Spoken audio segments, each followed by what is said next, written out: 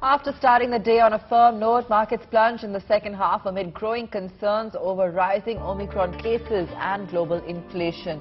Sensex declined over 500 points to shut shop above 58,000. Nifty also plunging 143 points and slipping below the 17,400 mark. Investors lost about 1 lakh crore rupees today. Bajaj Twins, Reliance dragging the markets lower, M&M, Tata Consumer also among some of the top laggards. Gains in select IT counters lent some support. Tech Mahindra, Wipro, Axis Bank, SBI Life and Hindalco among gainers in trade today.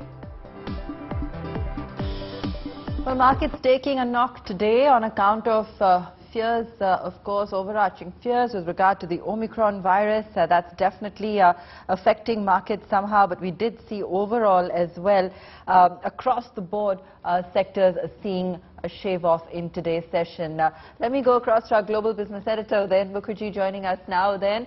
Uh, what's your take on the kind of market direction we're headed in for this December?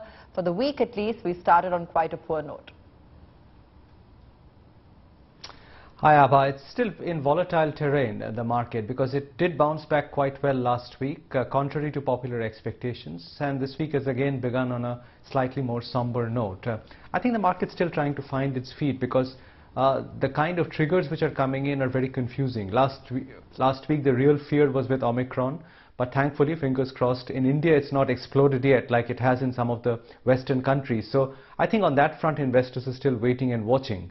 Uh, the key this week, I think, will be uh, what the US Fed signals in terms of interest rates, because in the middle of the week we have that outcome of the US Fed meeting.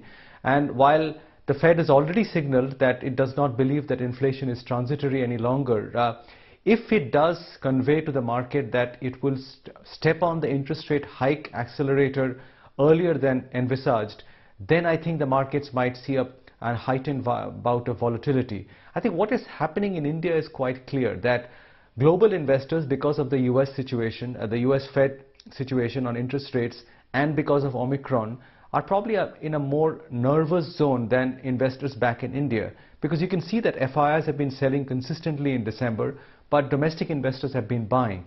Uh, I think that sort of reflects the kind of dichotomy in mood and sentiment amongst between global and local investors and that might well continue if the US Fed were to signal a hawkish kind of stance today.